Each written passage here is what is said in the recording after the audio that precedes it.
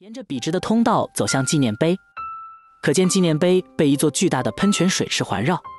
莲花在古埃及人的意识形态中代表重生，而水是生命之源，水和莲花融合，代表了生命不息、循环往复。遗憾的是，现在水池并没有蓄水。登上台阶，来到五朵莲花花瓣的中央，抬头仰望，可见高悬在空中的环形齿轮观景台和高耸的五朵花瓣。虽然出自苏联设计师之手，但纪念碑造型仍然保留了古埃及艺术庄严与婉约完美融合的特点，使人感到敬畏的同时，仍不失优雅的韵味。如果说建筑是一部凝固的史诗，那么每朵花瓣上的浮雕，则是描绘埃及人民不同生活层面的美好篇章。第一个花瓣位于面对纪念碑入口的位置，在它的上部刻有一段古兰经话语：“我们用水创造了一切生命。”在古兰经诗句之下，有分别象征着埃及和苏联的正在向神祈求降雨的双手浮雕。双手之上的浮雕显示了上帝对祈雨的回应。雨水开始下落，并流入双手之间的尼罗河。在花瓣的右侧，有已故埃及总统加麦勒阿卜杜勒阿尔纳塞尔和穆罕默德安瓦尔阿尔萨达特的肖像和语录，以及阿拉伯联合共和国的国徽。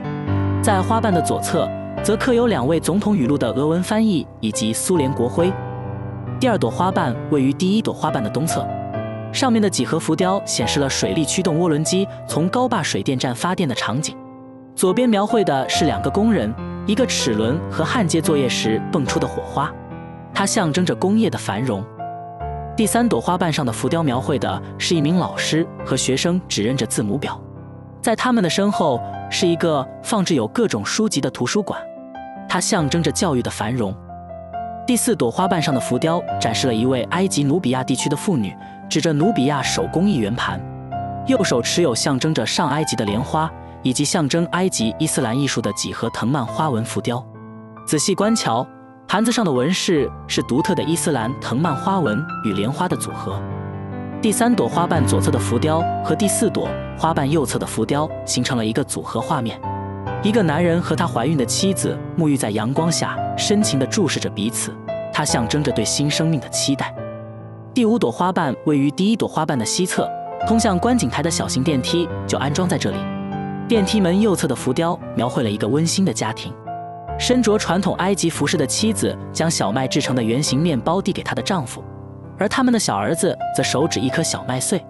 这象征着高坝新增灌溉农业用地而形成的农业发展。电梯门左侧的浮雕描绘了河水从大坝流向下游，灌溉埃及所有的农业地区。中间的浮雕描绘的是菱形的水滴落在巨大的麦穗之上，象征着尼罗河河水与降雨形成了灌溉的良性循环以及农业的可持续发展。它们是应用埃及特色元素、受苏联建构主义风格以及太空时代影响的艺术作品。